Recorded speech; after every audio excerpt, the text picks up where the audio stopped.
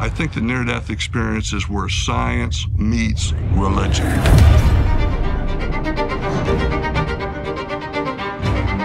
There is a process of dying during which I feel the near death experience occurs. I'm looking down, there's my body, but I'm up here. I can't be dead because I've never felt more alive. The person I saw was my grandfather. He extended his hands to me and said, Welcome home, Donnie. I knew that I was being held by Christ purely as I know anything. I know it sounds crazy.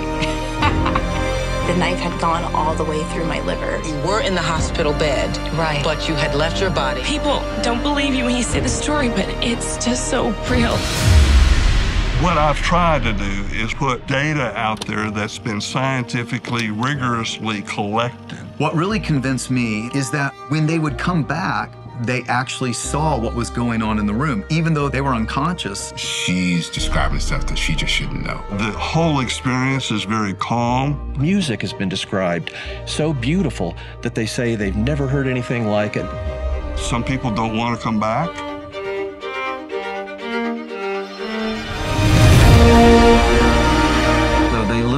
Fear of death.